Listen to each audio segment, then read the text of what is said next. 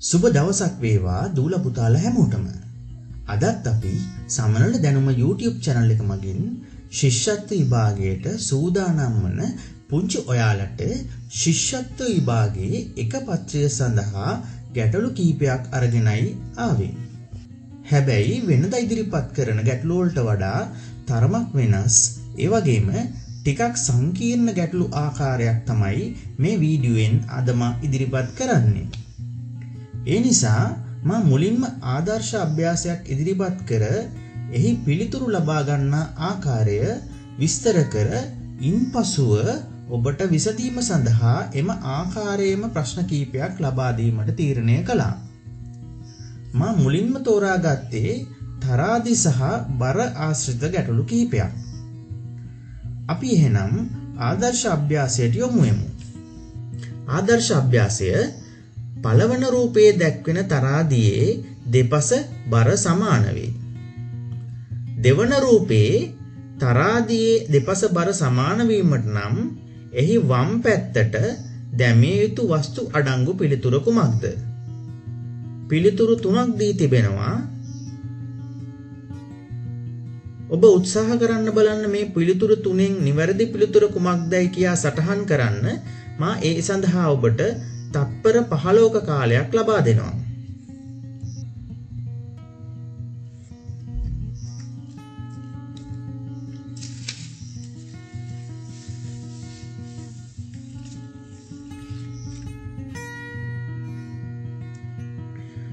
කාලය අවසානයි අපි එහෙමනම් මෙම ප්‍රශ්නයට නිවැරදි පිළිතුර සොයා බලමු මා මේ ආකාරයට මේ ප්‍රශ්නය සඳහා පිළිතුරු පැහැදිලි කරන්නම්.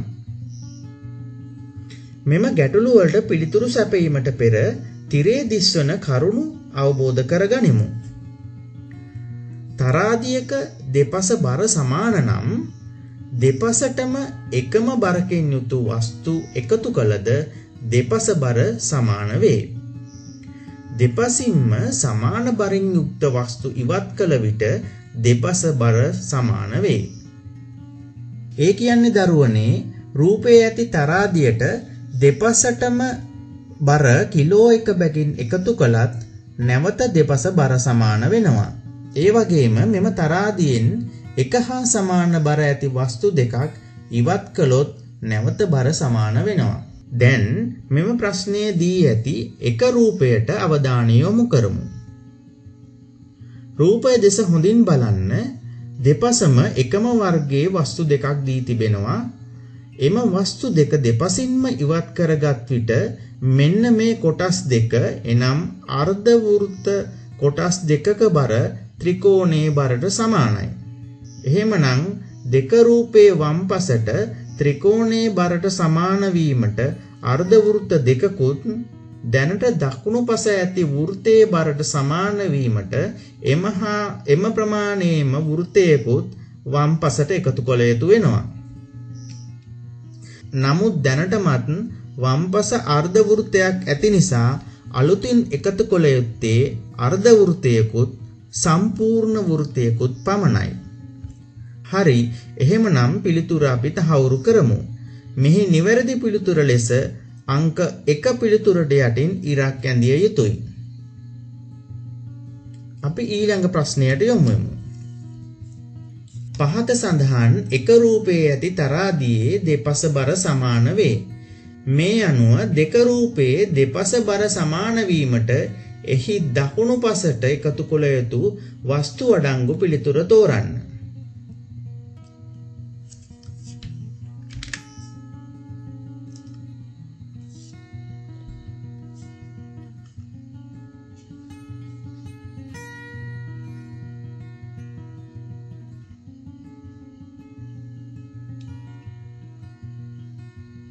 පිළිතුරු සැපීම සඳහා ලබා දුන් තප්පර 15ක කාලය අවසానයි අපි එහෙමනම් මේ සඳහා නිවැරදි පිළිතුර කුමක්දයි තෝරා ගනිමු.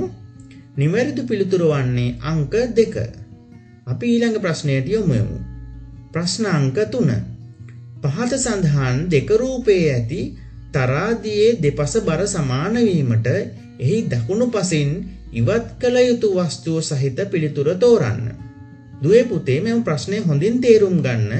මෙහි අහන්නේ එහි දකුණු පසින් ඉවත් කළ යුතු වස්තුව සහිත පිළිතුර තෝරන්න ලෙස. මේ සඳහා තප්පර පහලෝක කාලයක් ලැබෙනවා. ඔබේ පිළිතුර සටහන් කරන්න.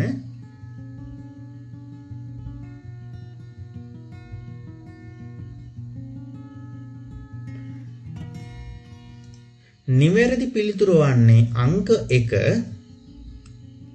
සමනල දැනුම YouTube චැනලය හරහා ගෙනා තවත් වීඩියෝකින් සමුගන්නයි මේ සූදානම. පුංචි ඔබට මෙවැනි ආකාරයේ ගැටලුවල තවදුරටත් නිරතවීමට අවශ්‍ය නම් තිරේ දිස්වෙන ඉගෙනුම් හැකියා සහ විභව්‍යතාමාන ප්‍රශ්න හැඩතල නම් ග්‍රන්ථය පරිශීලනය කරන ලෙසමා ඔබට ආරාධනා කර සිටිනවා. එම ග්‍රන්ථයේ මෙවැනි ආකාරයට විවිධ ආකෘතියට අනුව සැකසුණු ගැටලු විශාල ප්‍රමාණයක් සහ ආදර්ශ ප්‍රශ්නපත්‍ර පහක්දමා සම්පාදනය කොට තිබෙනවා. එපමණක් නොව මෙවැනි ආකාරයේ වීඩියෝ අපගේ සමනල දැනුම YouTube චැනලය මගින් ඉදිරියේදී ඉදිරිපත් කිරීමට මා සූදානම්. එම වීඩියෝව අප්ලෝඩ් කළ සැනින් ඔබට දැනගැනීමට නම් මෙම වීඩියෝට යටින් නැති සබස්ක්‍රයිබ් බටන එක කලික් කර බෙල් අයිකන් එකත් ප්‍රෙස් කරන්න කියා මා ඔබට ආරාධනා කර සිටිනවා. ඒ වගේම මෙම YouTube චැනලය ගැන ඔබගේ අදහස්ද කමෙන්ට් කරන ලෙසමා ඉල්ලා සිටිනවා. මෙම ගැටලු ආකාර හොඳටම පැහැදිලීමට හා තහවුරුවීමට නම් කිහිප වරක් නැරඹීම ඉතා වැදගත් වෙනවා. අලුත් වීඩියුවකින් හමුවෙමු. සුබ දවසක්.